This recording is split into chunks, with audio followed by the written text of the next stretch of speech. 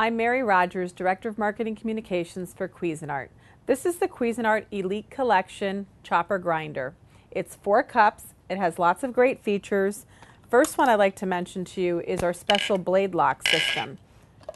Basically, you, when you put the blade in and engage it, it actually stays mounted in the bowl. So when you're going to pour out your ingredients like a vinaigrette or even um, heavy ingredients like that, like nuts or onions, it's going to stay right in place. You put the bowl back on, and how you engage it is you put it down and you push it until it locks into place. That's how it engages.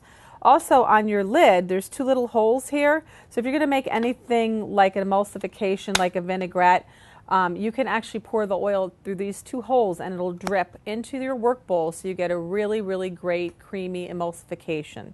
It has touchpad controls featuring chop and grind. It also has a smart blade function.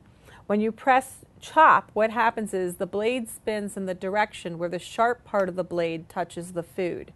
And when you're using chop, you should always use it for soft items like parsley or even onions. When you're doing grinding, that's for hard items, like if you're going to try to um, grind up some peppercorns or nutmeg or even hard cheese. When you press, press grind, it's actually going to turn and the blade will touch the food with the blunt side of the blade. This also helps your sharp side of the blade stay really in great shape. It's die cast, it's beautifully designed. Like I mentioned, it's four cups. It's a great mini chopper for your home.